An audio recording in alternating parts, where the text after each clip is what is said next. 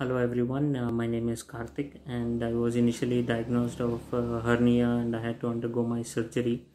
During that time, uh, I had to undergo a few pre-surgery uh, tests and during that time I was tested COVID-19 positive.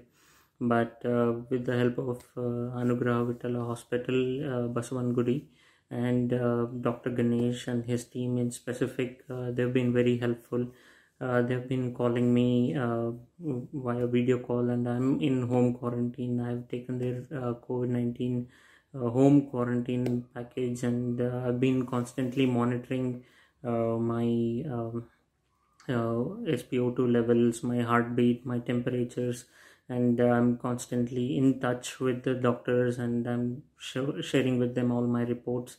And that way i know i'm in safe hands and i don't have to worry about anything because I'm under constant supervision of someone or the other, and uh, it is really helping me uh, being in home quarantine because I'm able to catch up with my work as well as stay safe from others and cure myself as well. Uh, even though I'm in home quarantine, I was uh, delivered all my medica- medicines and I'm taking all my medicines on time to ensure I'm out of this situation and uh, uh, this is in, um, something I would recommend uh, others as well instead of spending uh, thousands of rupees outside uh, to be uh, cured or healed. Um, you know, Anugraha Vitala is doing a very good job.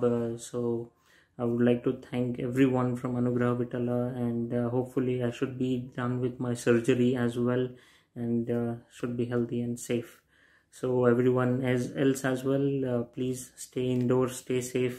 Thank you so much